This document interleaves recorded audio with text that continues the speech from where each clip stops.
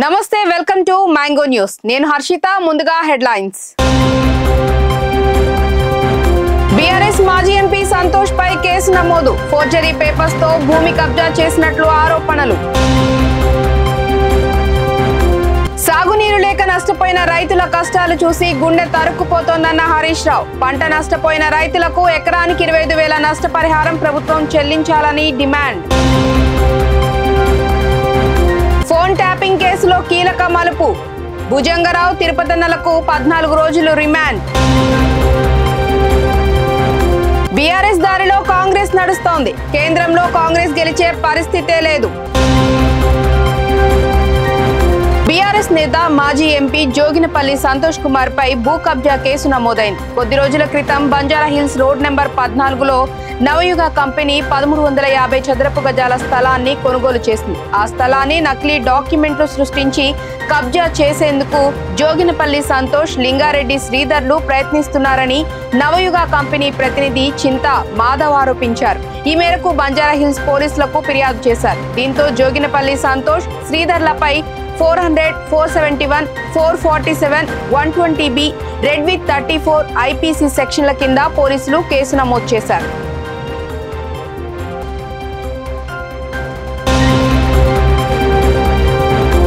సాగునీరు లేక పంటలు నష్టపోతున్న రైతుల కష్టాలు చూస్తుంటే గుండె తరుక్కుపోతోందని మాజీ మంత్రి హరీష్ రావు అన్నారు. పంట నష్టపోయిన రైతులకు వెంటనే ఎకరానికి ఇరవై ఐదు వేల రూపాయల నష్టపరిహారం ప్రభుత్వం చెల్లించాలని డిమాండ్ చేశారు. ముఖ్యమంత్రి మంత్రులు హైదరాబాద్లో రాజకీయాలు మాని వ్యవసాయ క్షేత్రాలకు వచ్చి రైతులకు ఆత్మవిశ్వాసం కల్పించాలని అన్నారు. తమ ఎమ్మెల్యేలను కాంగ్రెస్లో చేర్చుకునేందుకు వాళ్ళ ఇంటికి రేవంత్ రెడ్డి వెళ్తున్నారని రైతులు ప్రాణాలు కోల్పోతుంటే మాత్రం పరామర్శించడానికి మాత్రం వెళ్ళటం లేదని మండిపడ్డారు. కాంగ్రెస్ ప్రభుత్వం వచ్చాక తెలంగాణలో నూట ఎనభై మంది రైతులు ఆత్మహత్య చేసుకున్నారని వెల్లడించారు. ముఖ్యంగా దేవరుప్పల మండలంలో ఈరోజు ప్రభుత్వం యొక్క వైఫల్యం వల్ల ప్రభుత్వం సరిగా వాటర్ మేనేజ్మెంట్ చేయకపోవడం వల్ల ఈరోజు వేలాది ఎకరాల్లో పంట ఎండిపోయింది.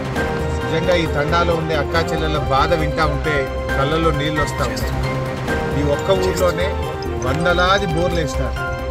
ఒక్కొక్క రైతు ఆరు బోర్లు నాలుగు బోర్లు రెండు బోర్లు వేసి ఆశ కోసం నీళ్ళు వస్తాయేమని ప్రయత్నం చేసి మేము అప్పుల పాలైనామని చెప్పి వాళ్ళ యొక్క బాధలు చూస్తూ ఉంటే ఈ ప్రభుత్వం పూర్తిగా రైతుల్ని ఆదుకోవడంలో ఈరోజు విఫలమైందనేటువంటిది అర్థమవుతాం ముఖ్యంగా రాష్ట్ర ప్రభుత్వం గోదావరి నదిలో నీళ్ళున్నా కూడా దేవాదుల ద్వారా నీళ్ళు పంపింగ్ చేసి రైతులకు నీళ్ళు ఇవ్వడంలో ఇవాళ పూర్తిగా వైఫల్యం చెంది ఇవాళ వాళ్ళు ఆరు గ్యారంటీల్లో రైతుల కోసం చెప్పిన ఏ ఒక్క హామీ కూడా కాంగ్రెస్ పార్టీ అమలు చేయలేదు.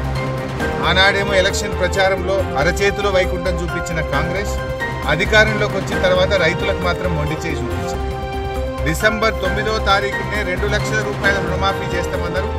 ఇవాళకి వంద రోజులు దాటింది.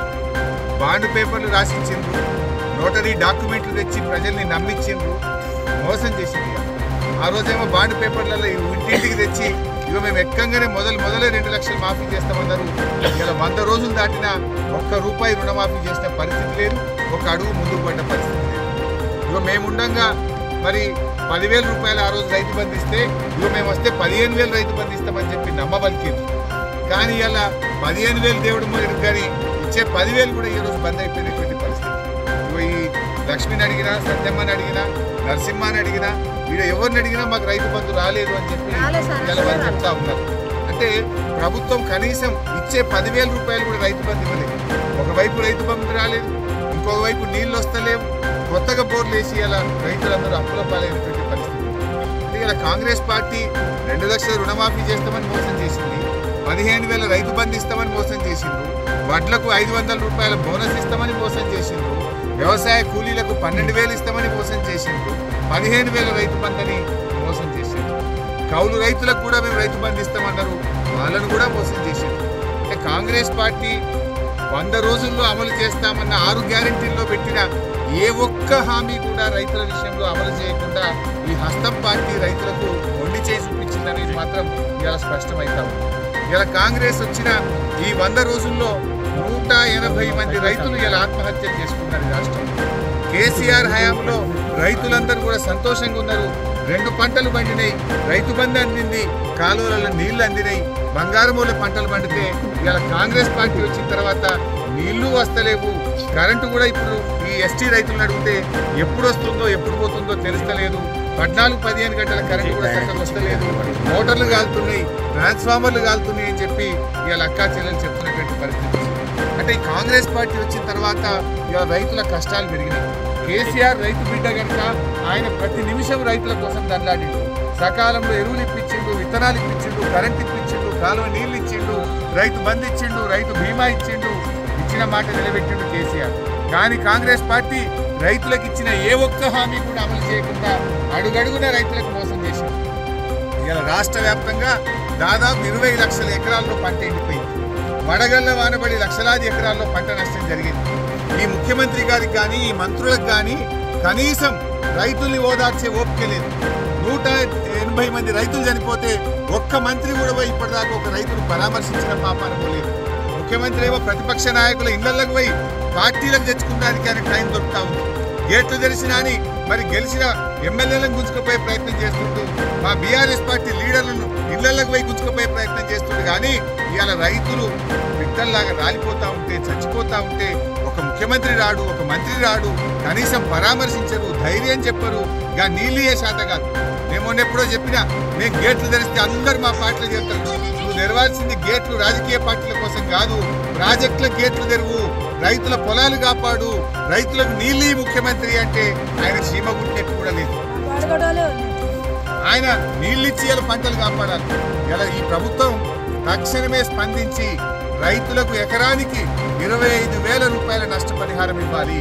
ఎక్కడైతే ప్రభుత్వ వైఫల్యం వల్ల ప్రభుత్వమే పట్టించుకోకపోవడం వల్ల రైతులకు నష్టం జరిగిందో ఎకరానికి ఇరవై ఐదు వేల రూపాయలు ఇచ్చి రైతుల్ని కాపాడాలి.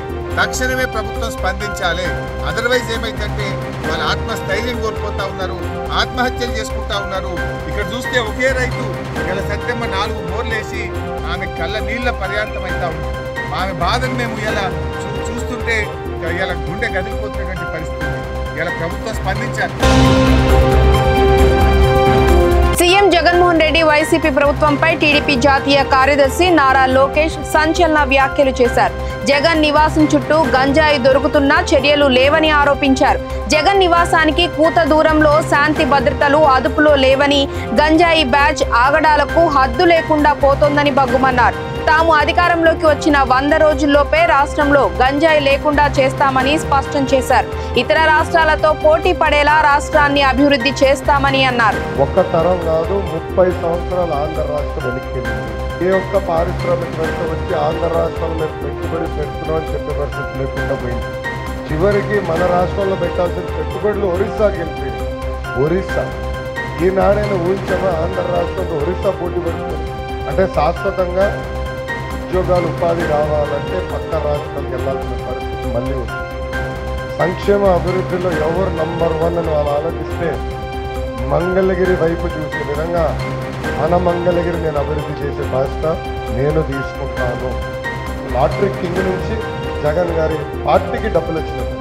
వన్ సిక్స్టీ క్రోర్స్ గంజాయి డబ్బులు మద్యం డబ్బులు ఇప్పుడు లాటరీ డబ్బులు.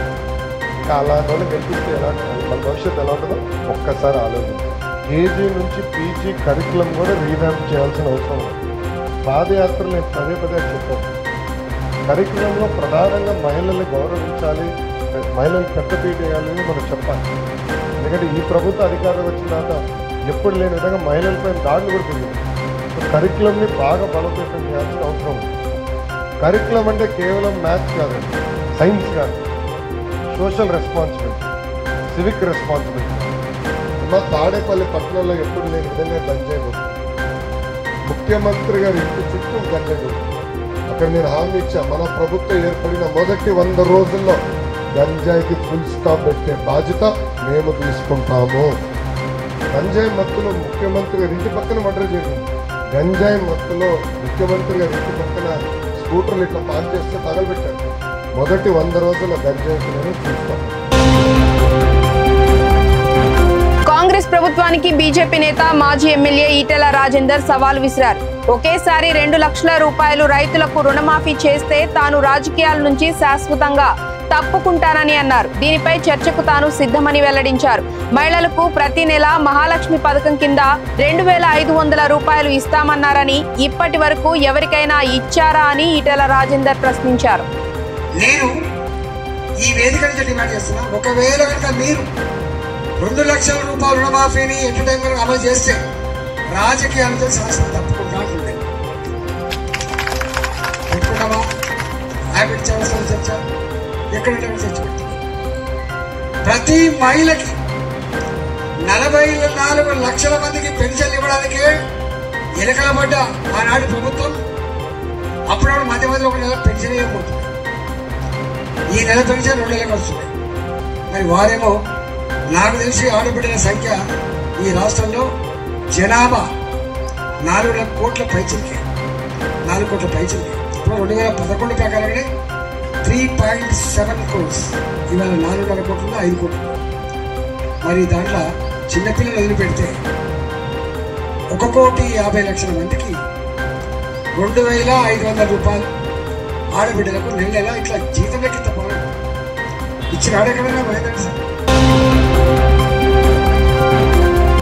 scam కేసులో అరెస్ట్ అయిన ఢిల్లీ ముఖ్యమంత్రి కేజ్రీవాల్ జైలు నుండే పాలన కొనసాగిస్తున్నారు. తాను జైల్లో ఉన్నందున ప్రజలు ఎటువంటి సమస్యలు ఎదుర్కోకూడదని కేజ్రీవాల్ పేర్కొన్నారు. ఢిల్లీలోని కొన్ని ప్రాంతాలు నీటి సరఫరా మురుగునీటి సమస్యలను ఎదుర్కొంటున్నట్లు తన దృష్టికి వచ్చిందని వెల్లడించారు. ఈ మేరకు ఢిల్లీ మంత్రి అతిషికి కేజ్రీవాల్ లేఖ రాశారు. నీటి సరఫరా మురుగునీటి సమస్యలు వెంటనే పరిష్కరించాలని ఆదేశించారు. అవసరమైతే ఢిల్లీ లెఫ్టినెంట్ గవర్నర్ సహాయం తీసుకోమని కేజ్రీవాల్ అతిషికి సూచించారు.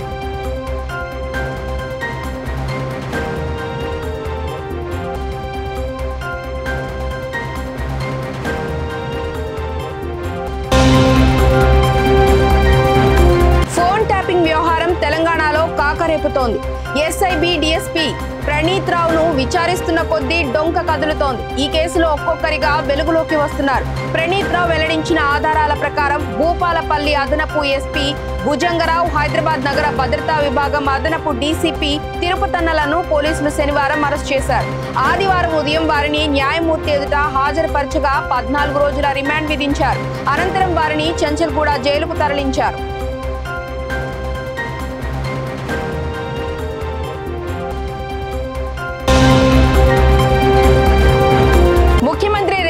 రేవంత్ బీఆర్ఎస్ నాగర్ కర్నూలు ఎంపీ అభ్యర్థి ఆర్ఎస్ ప్రవీణ్ కుమార్ కౌంటర్ ఇచ్చారు. కాంగ్రెస్ గేట్లు తెరిస్తే అక్కడికి గొర్రెలు వచ్చాయని బీఆర్ఎస్ గేట్లు తెరిస్తే ఇక్కడికి సింహాలు వచ్చాయని వెల్లడించారు. తెలంగాణను మోసం చేసిన వాళ్ళు కాంగ్రెస్లో ఉన్నారని విమర్శించారు. రాజ్యాంగ వ్యవస్థలైన ఈడీ సిబిఐలను మోడీ గుప్పెట్లో పెట్టుకున్నారని ఆరోపించారు. వచ్చే లోక్సభ ఎన్నికల్లో బీజేపీ నాలుగు వందల సీట్లు గెలిస్తే రాజ్యాంగాన్ని రద్దు చేస్తుందని వెల్లడించారు. బీజేపీ కాంగ్రెస్ ఎన్ని కుట్రలు చేసినా తన పోరాటం ఆపనని ప్రవీణ్ కుమార్ వెల్లడించారు.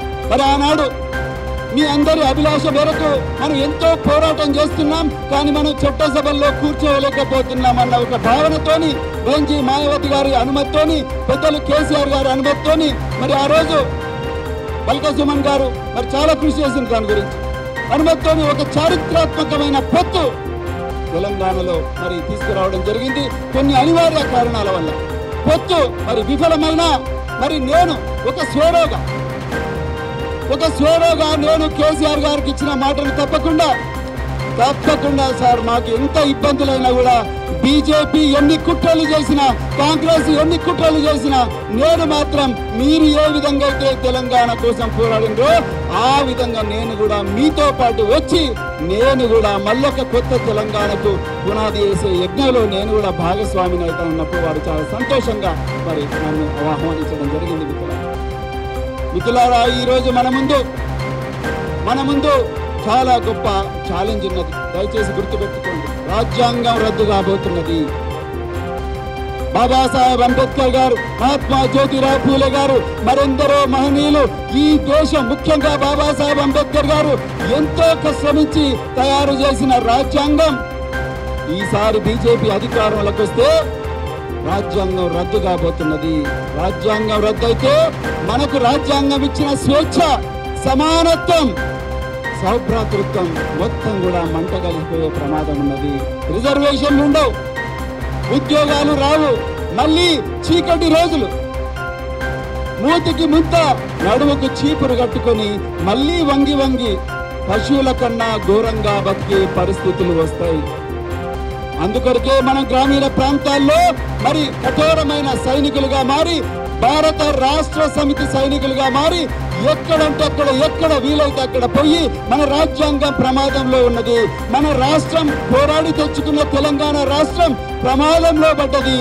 బడేబాయ్ నరేంద్ర మోడీ గారు చోటేబాయ్ రేవంత్ రెడ్డి గారు వీళ్ళిద్దరు కూడా వీళ్ళిద్దరు కూడా ఒకటే తానులో ముక్కలే. ఒకటే తానులో ముక్కలే అందుకొరకే వీళ్ళిద్దరి నుండి కూడా తెలంగాణ తల్లిని మళ్ళీ కాపాడవలసిన చారిత్రాత్మక బాధ్యత మన మీద ఉన్నదని ప్రతి ఒక్క కార్యకర్త కూడా ఒక సిపాయిలాగా మారి గ్రామీణ ప్రాంతాల్లో చెప్పాల్సిన అవసరం ఉన్నది మిత్రులారా. ఆనాడు కాంక్షిరామ్ గారు ఏమన్నారు? మనం ఆయుధాలు పట్టాల్సిన అవసరం లేదు. ఒక సామాజిక మార్పు కోసం ఆయుధాలు పట్టాల్సిన అవసరం లేదు. బాబాసాహెబ్ అంబేద్కర్ గారు తన రాజ్యాంగం ద్వారా మనకు ఓటు హక్కు అనే ఆయుధం ఇచ్చిండు మిత్రులారా ఒక్కసారి గుర్తుపెట్టుకోండి. ఓటు హక్కు అనే ఆయుధం ఇచ్చి ఆ ఓటు హక్కు ద్వారానే మన జీవితాలు మార్చుకోమన్నారు ఈ రోజు మనందరి ముందు కూడా ఒక చక్కటి ఎగ్జాంపుల్ ఉంది. మలిదశ తెలంగాణ ఉద్యమంలో పెద్దలు గౌరవనీయులు కేసీఆర్ గారు ఎక్కడ కూడా హింసను ప్రేరేపించలేదు. మీరు కావాలంటే చూడండి. మొదటి దశ తెలంగాణ ఉద్యమంలో మూడు వందల అరవై తొమ్మిది మంది మూడు వందల అరవై తొమ్మిది మంది రకరకాల హింసాత్మక సంఘటనలు చనిపోతే ఇక్కడ కేసీఆర్ గారు ఏం చేసిండ్రు? మనం ఎలక్షన్లనే ఎలక్షన్లనే పోరాట రూపంగా వాడుకొని ఓట్లనే ఆయుధాలుగా వాడుకొని తెలంగాణ తెచ్చుకుందాం అన్నాడు అందుకొరకే తెలంగాణ శాంతియుతంగా వచ్చింది మిత్రులారా ఒక్కసారి ఆలోచించండి. అంటే ఆనాడు కాంశీరామ్ గారు బహుజన రాజ్యాన్ని ఓట్ల ద్వారా ఉత్తరప్రదేశ్లో తీసుకొచ్చే ప్రయత్నం చేసి సఫలమైతే ఇక్కడ కేసీఆర్ గారు అదే రాజ్యాంగ ప్రక్రియను ఆయుధంగా వాడి తెలంగాణ కళను సాకారం చేసింది రాబోయే పార్లమెంట్ ఎన్నికల్లో కూడా మళ్ళీ మనకు ఆ ఓటు అనే ఆయుధాన్ని వాడే అవకాశం వస్తుంది.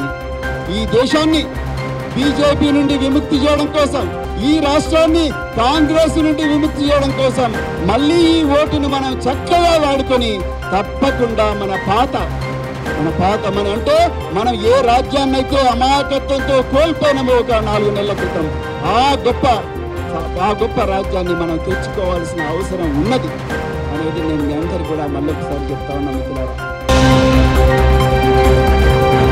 జనసేనాని పవన్ కళ్యాణ్ మరో రెండు స్థానాలకు అభ్యర్థులను ఖరారు చేశారు. అంబేద్కర్ కోనసీమ జిల్లాలోని పి. గన్నవరం పోలవరం అసెంబ్లీ స్థానాలకు అభ్యర్థులను ప్రకటించారు.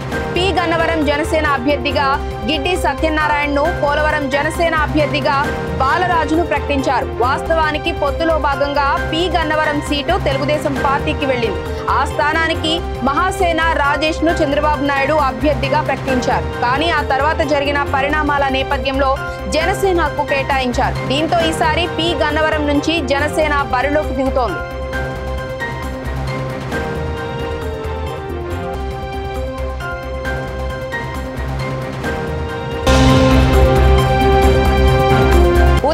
ఉత్తరాంధ్రకు అత్యంత కీలకమైన జిల్లా విజయనగరం. ఎంతో అద్భుతమైన చరిత్ర కలిగిన ఆ జిల్లా రాజకీయంగాను అత్యంత ప్రాధాన్యతను సంతరించుకుంది. రాజకీయంగా ఉద్దండులను అందించింది ఈ జిల్లానే. అటు గజపతి వంశం ఇటు బొత్స కుటుంబం నుంచి ఉత్తరాంధ్ర రాజకీయాలను శాసించే నేతలు ఈ జిల్లా నుంచే వచ్చారు. విజయనగరం జిల్లా ఓటర్లు కొన్నిసార్లు సెంటిమెంట్కి కొన్నిసార్లు వారసత్వానికి ఓట్లు వేస్తుంటారు. గత ఎన్నికల్లో మాత్రం వార్ వన్ సైడ్ అయింది. జిల్లాలోని తొమ్మిది సీట్లను వైసీపీ క్లీన్ స్వీప్ చేసింది. మరి ఈసారి వైసీపీకి ఆ పరిస్థితి ఉందా? లేదా టీడీపీ ఈసారి జెండా పాతుతుందా అనేది ఇప్పుడు చూద్దాం.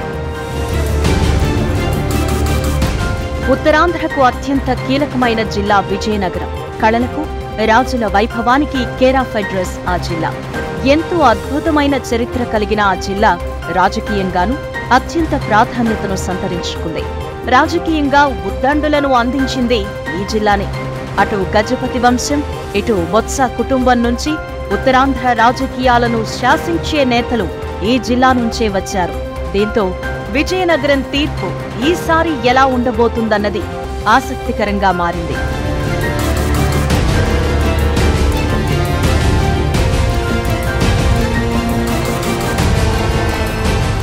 విజయనగరం జిల్లా ఓటర్లు కొన్నిసార్లు సెంటిమెంట్కి కొన్నిసార్లు వారసత్వానికి ఓట్లు వేస్తూ ఉంటారు. మరికొన్నిసార్లు అనూహ్య ఫలితాలిస్తూ ఉంటారు. ఎన్నికలు జరిగిన ప్రతిసారి పార్టీల మధ్య పోరు రసవత్తరంగానే ఉంటుంది. అయితే గత ఎన్నికల్లో మాత్రం వార్ వన్ సైడ్ అయింది. జిల్లాలోని తొమ్మిది సీట్లను వైసీపీ క్లీన్ స్వీప్ చేసింది. ఆరు నియోజకవర్గాల్లో ఇరవై వేలకు పైగా మెజారిటీ సాధించింది వైసీపీ. మరి ఈసారి వైసీపీకా పరిస్థితి ఉందా?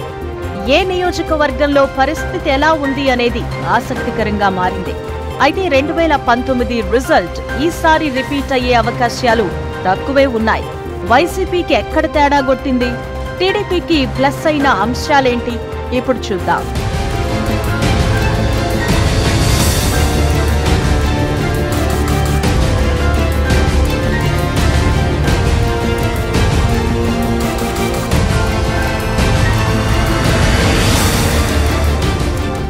కేంద్రమైన విజయనగరం నియోజకవర్గం విషయానికొస్తే ప్రస్తుతం ఇక్కడి నుంచి కోలగట్ల వీరభద్ర స్వామి ప్రాతినిధ్యం వహిస్తున్నారు.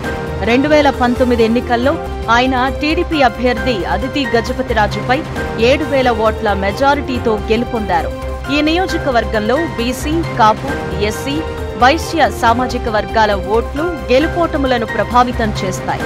టీడీపీ నుంచి అశోక్ గజపతిరాజు పోటీ చేసే అవకాశం ఉండగా వైసీపీ నిర్ణయం ఎలా ఉండబోతుందన్నది ఆసక్తికరంగా ఉంది. ఇదిలా ఉంటే అభివృద్ధి లేకపోవడం వైసీపీకి మైనస్ కాగా అశోక్ గజపతిరాజుపై ఉన్న సానుభూతి కూడా అధికార పార్టీకి ప్రతికూలంగా ఉంది. మరోవైపు సిట్టింగ్ ఎమ్మెల్యే కోలగట్లపై పెద్దగా వ్యతిరేకత కూడా లేదు.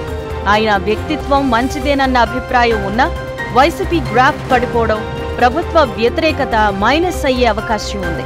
ఈసారి మంత్రి బొత్స సత్యనారాయణ తెర వెనుక అశోక్ గజపతిరాజుకి సపోర్ట్ చేస్తారంటూ లోకల్గా ప్రచారం జరుగుతోంది. జనసేన ప్రభావం ఇక్కడ బాగానే ఉంది. Pawan Kalyan fan base TDP Janasena కూటమికి మరింత బలాన్ని చేకూర్చనుంది. ఓవరాల్గా చూస్తే విజయనగరంలో ఈసారి టీడీపీదే గెలుపని జనం అనుకుంటున్నారు.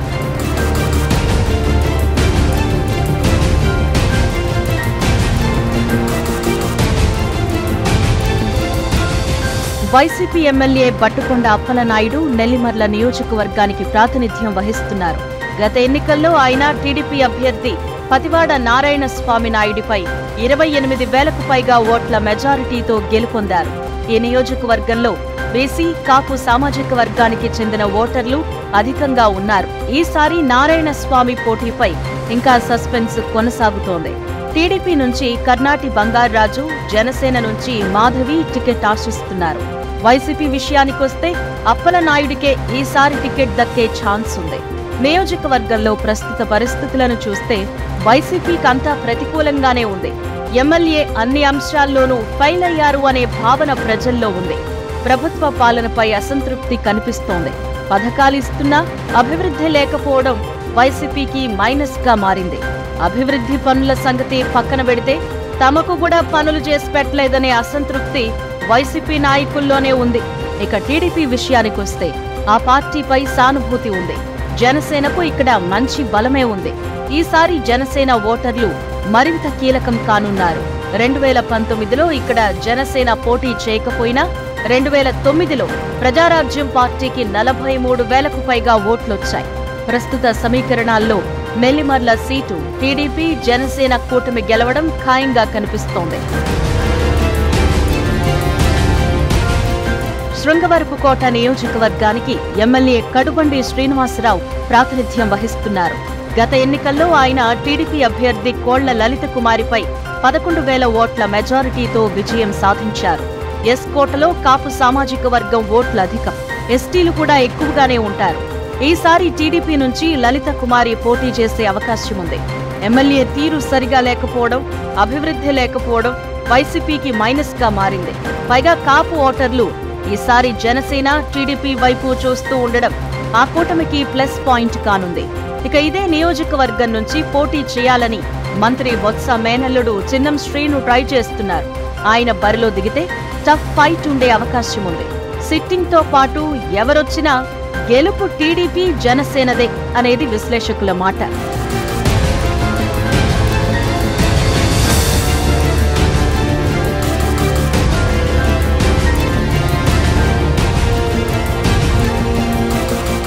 వైసీపీ ఎమ్మెల్యే శంబంగి చినవెంకట అప్పల నాయుడు బొబ్బిలి నియోజకవర్గానికి ప్రాతినిధ్యం వహిస్తున్నారు.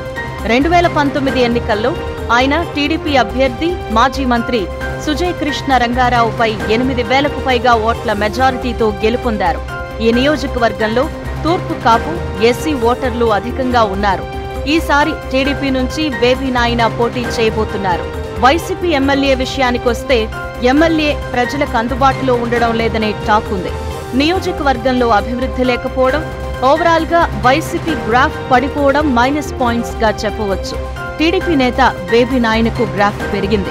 నిత్యం అందరికీ అందుబాటులో ఉండడం ఫ్యామిలీ ప్రతిష్ట ప్లస్ అయ్యే అవకాశం కనిపిస్తోంది. అయితే పంతొమ్మిది వందల తొంభై నాలుగు తరువాత ముప్పై ఏళ్ళుగా ఇక్కడ టీడీపీ విజయం సాధించలేదు. గత ఐదు ఎన్నికల్లో మూడు సార్లు కాంగ్రెస్ రెండు సార్లు వైసీపీ గెలుపొందాయి. ఈసారి సాంప్రదాయాన్ని టీడీపీ బ్రేక్ చేయనుందని లేటెస్ట్ రిపోర్ట్స్ చెబుతున్నాయి.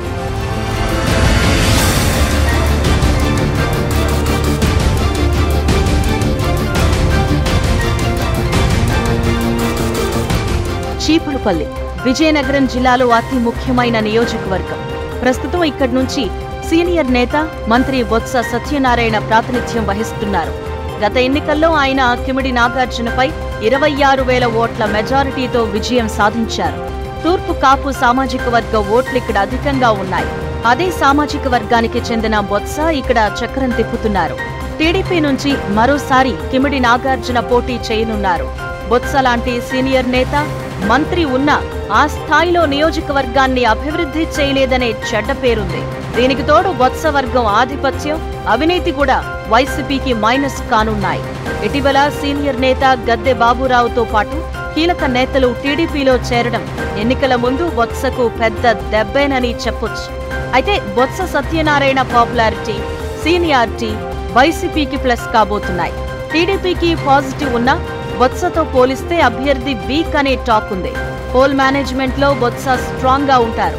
వైసీపీ నుంచి బొత్స కాకుండా వేరే వ్యక్తి అయితే టీడీపీ గెలుస్తుంది. లేదంటే ఇక్కడ టఫ్ ఫైట్ ఖాయంగా కనిపిస్తోంది. జరిగిన మ్యాచ్లో సన్ రైజర్స్ హైదరాబాద్ పై కోల్కతా నైట్ రైడర్స్ నాలుగు పరుగుల తేడాతో విజయం సాధించింది. తొలుత బ్యాటింగ్ చేసిన కేకేఆర్ నిర్ణీత ఇరవై ఓవర్లలో ఏడు వికెట్లు కోల్పోయి రెండు వందల ఎనిమిది పరుగులు చేసింది. ఆ తర్వాత ఛేదంలో సన్ రైజర్స్ హైదరాబాద్ ఇరవై ఓవర్లలో ఏడు వికెట్లు కోల్పోయి రెండు వందల నాలుగు పరుగులు చేసింది. అయితే హైదరాబాద్ ఓటమికి గల కారణాలను cricket god Sachin Tendulkar Twitter వేదికగా వెల్లడించారు.